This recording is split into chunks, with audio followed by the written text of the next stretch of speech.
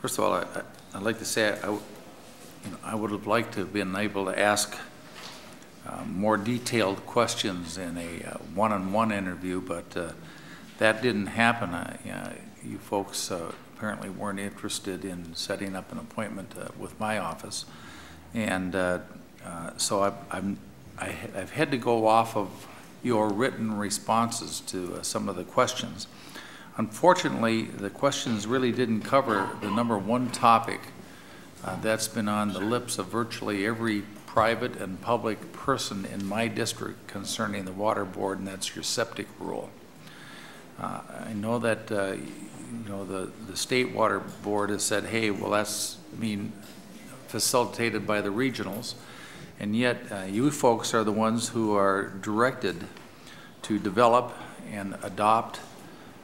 and implement the statewide regulations for this,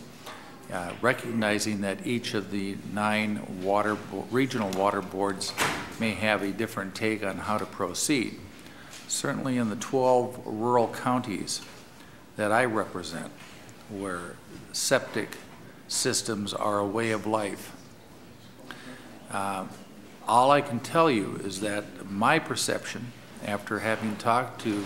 the water agencies, the public officials, and uh, private people, uh, is that uh, whoever wrote, whoever developed and implemented these regulations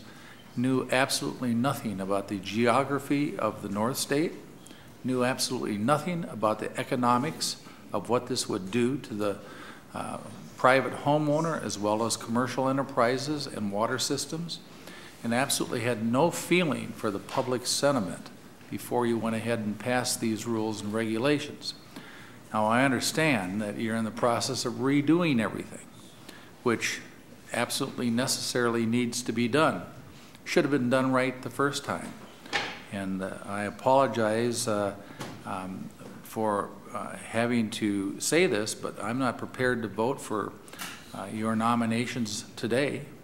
uh, simply based on uh, the way the Fourth Assembly, or Fourth Senate District